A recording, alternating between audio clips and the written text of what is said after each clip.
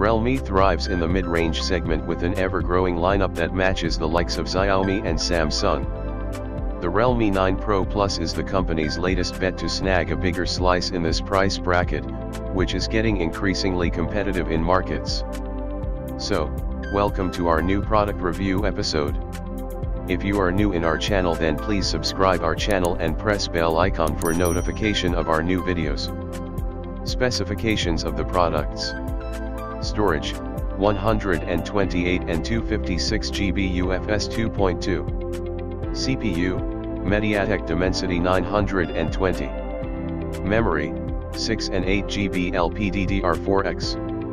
Operating System, Realme UI 3.0 with Android 12. Battery, 4500 mAh, 60W, PD 3.0, 18W, charging. Ports, USB Type-C, 3.5mm headphone jack. Display, size and resolution 6.4 inch, 1080p, 20 9, 90 Hz, Gorilla Glass 5. Front camera, 16 MP, f by 2.4, IMX 471. Rear cameras, 50 MP, f by 1.8, IMX 766, OIS, main, plus 8 MP, 119 degrees FOV, UW, plus 2 MP, macro. Connectivity, 5G, Wi-Fi 6, Bluetooth 5.2, NFC. Others, stereo speakers, in-display fingerprint reader. Dimensions, 160.2 mm by 73.3 mm by 7.99 mm. Colors, blue, green, black. Weight, 182 grams. I personally prefer muted colors for my phone's back, but the Realme 9 Pro Plus couldn't be any further from that. The colorway I have has a shimmering green glass back, but you can pick it up in an even funkier chameleon shade or a more muted black color.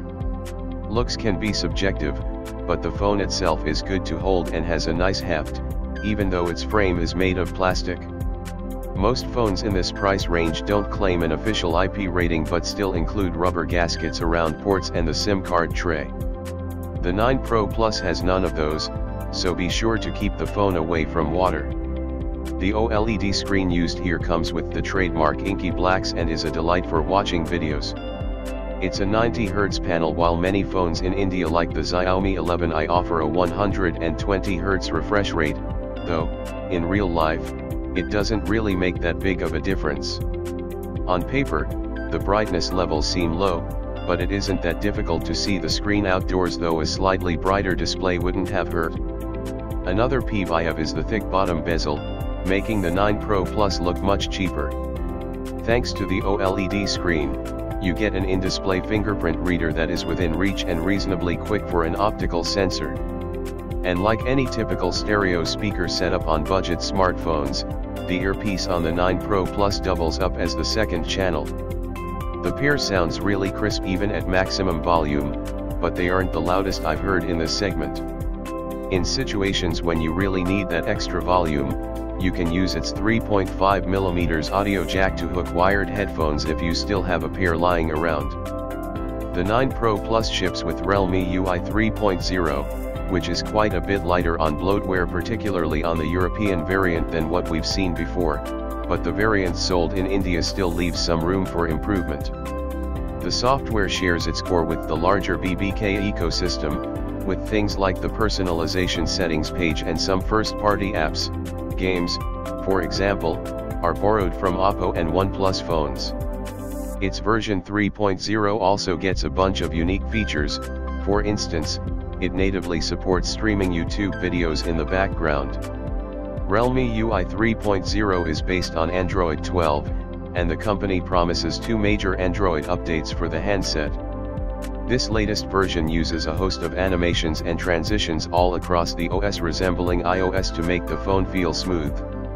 While these animations do help elevate your experience, they still cannot mask Realme's poor software optimization. Even when the phone is running at 90 Hz, you will notice some frame drops and choppy transitions while doing simple stuff like opening the Google feed on the leftmost homepage. That extends to other parts of the software as well, where you'll occasionally find that the phone takes a split second to take any action, like when opening the password manager after tapping the autofill prompt. The subpar software optimization is to be blamed for all these woes rather than the processor.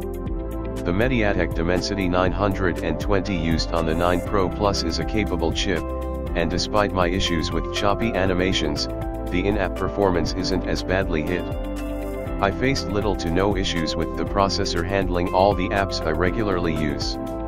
It even handles gaming pretty well, with no heating issues whatsoever, though it isn't made for the ultra graphics settings offered in many top-tier titles. On my 8GB RAM variant, RAM management wasn't a problem, though it could be a slight concern on the 6GB model.